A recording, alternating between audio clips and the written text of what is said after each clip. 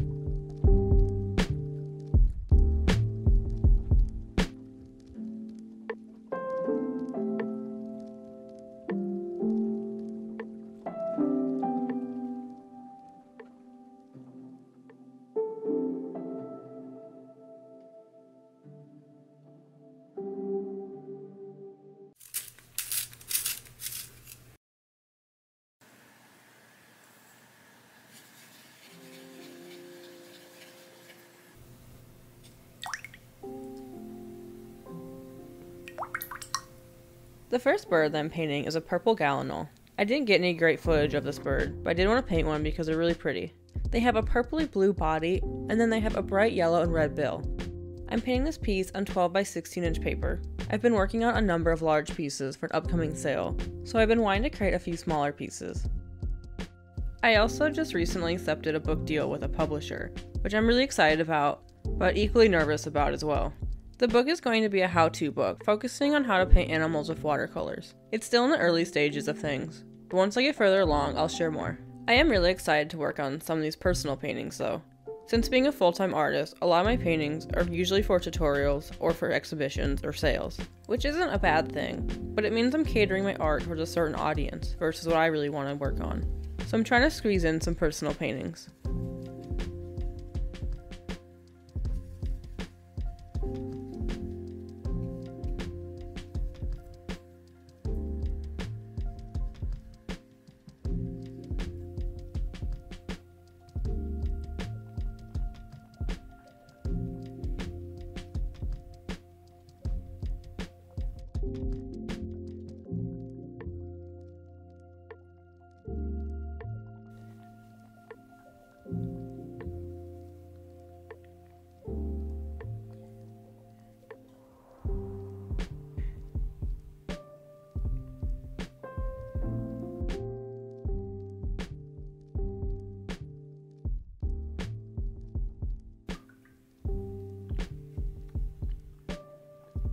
I often get asked how long it takes me to complete my paintings. On average, it takes me as little as 20 minutes to 3 hours. I don't personally like spending a lot of time on paintings. I like to create something and then move on. And other than the detailed parts of my paintings, the loose parts are pretty quick, and if I spend too much time on them, I risk overworking them. I've been advised before to not tell people how long it takes me to complete a painting, that it will somehow devalue my work, but I don't know, seems like a strange thing to lie about.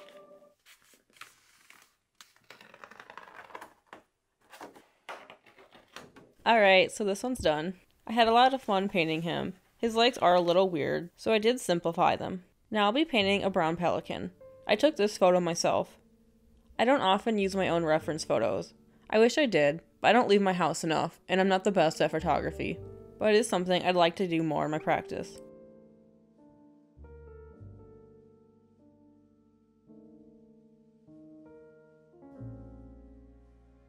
This pelican has some really pretty pastelly green, blue, and yellows on its beak. Someone asked me the other day why I often paint the beaks and eyes first, and to be honest, I don't really have a particular reason why. It really just boils down to personal preference. I like to go from tight to loose. It's a lot easier for me. I think it's also just feels more natural to go from left to right and top to bottom. There isn't always a right or wrong way to do things when it comes to art, and I think that's what's so great about it. That's probably a debatable opinion, but that's how I feel.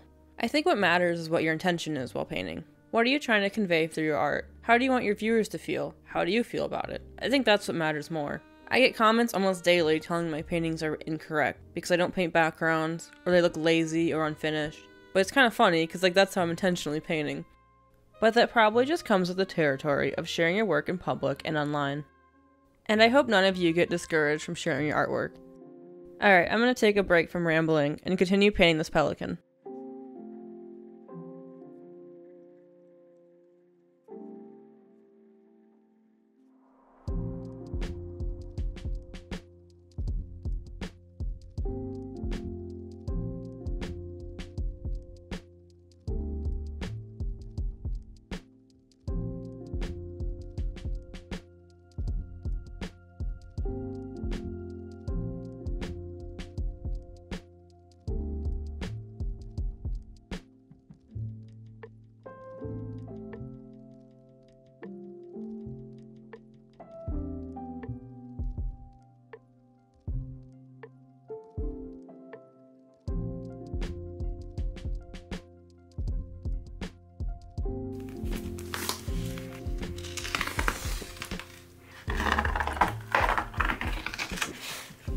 Alright, and the pelican is done.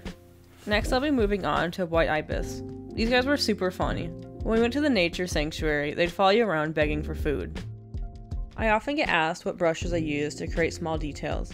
These are Princeton Aqua Elite brushes. I do like them for small details, but I do replace them quite often, about every other month or every two months. At least for the sizes 3 over 0 and 5 over 0.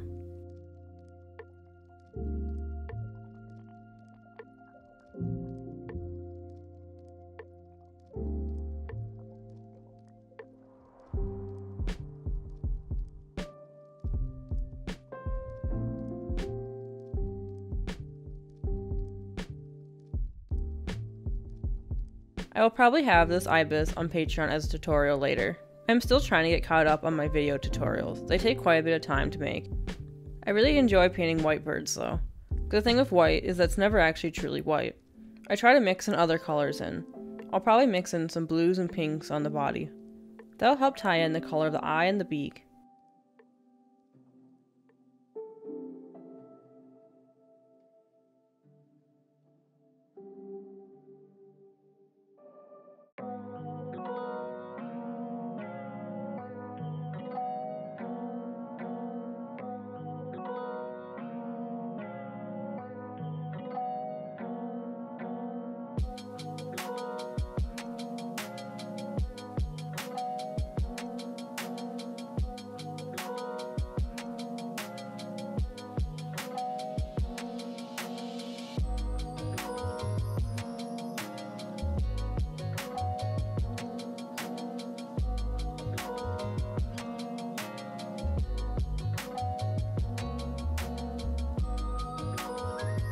So here I'm starting with a light gray, and then I'll be adding some blue.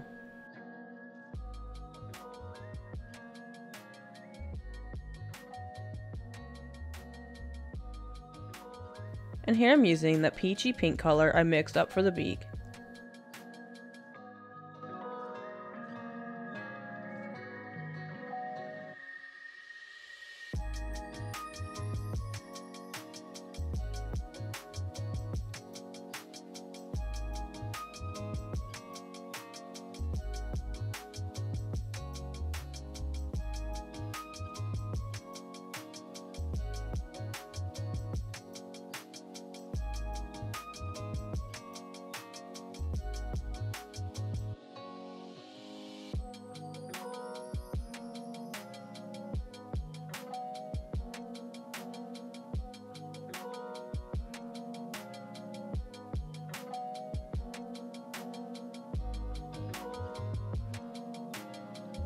I'm just gonna have the feet kind of fade off here. I want the painting to feel very light and airy.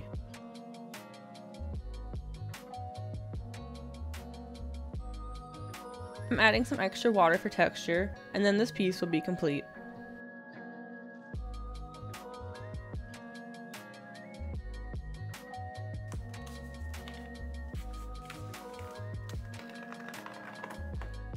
For the next painting, I just created a short reel for the process, instead of adding it to this video.